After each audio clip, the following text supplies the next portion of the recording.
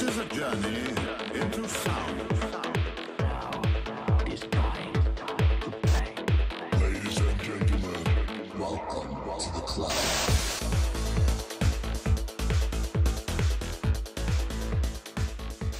Hello and welcome to the club.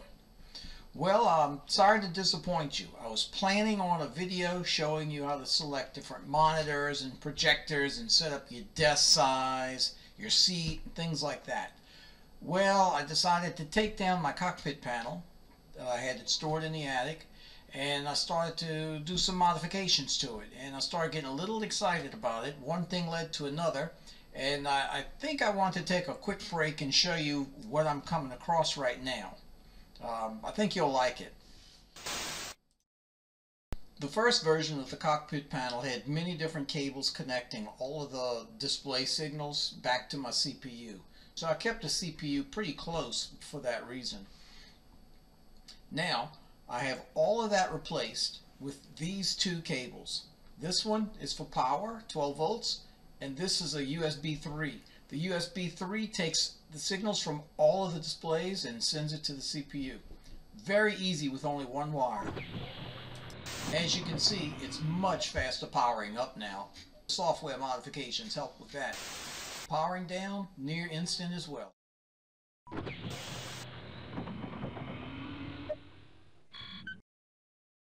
The displays can be, just as before, be powered down independently. And they can be turned right back on.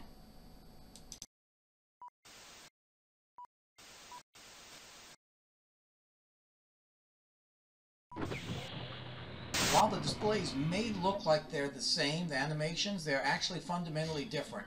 They're multi-layered so that you can change each main slideshow as you wish. We also can have animations.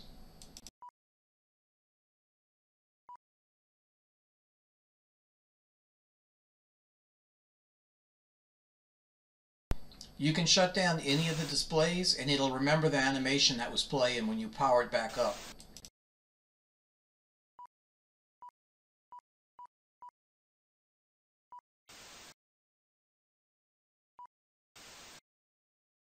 Even the character display has uh, gotten a little attention. It can go on and off at will. Now it gets fun. Here's a little extra damage when your hull is at about 50%. About 70%, it gets real tough to read the screens. Powering it down has no effect. Still busted.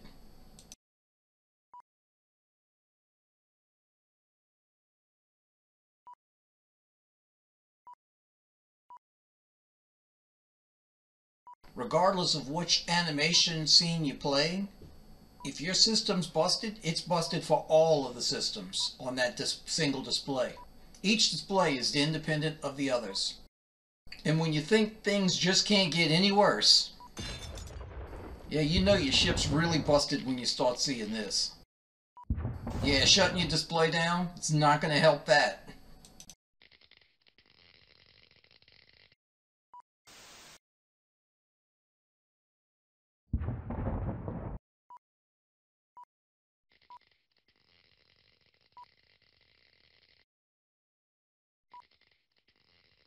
Only repairing the damage below the threshold amount will clear up the screen again. So at least you're now in a little bit less damaged mode. The idea is going to be that the damage is somewhat random once you cross particular thresholds and each of the displays will have a, a certain chance of getting this damage. So you might have some displays affected and some that are not affected. There may be a possibility of shutting down the system and turning it back on, and it might clear up the damage, uh, random chance, but there's also a random chance the damage could get worse.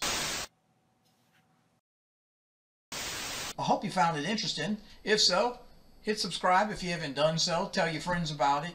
Check it out. Any questions you have, put them in the comments section. I'll reply.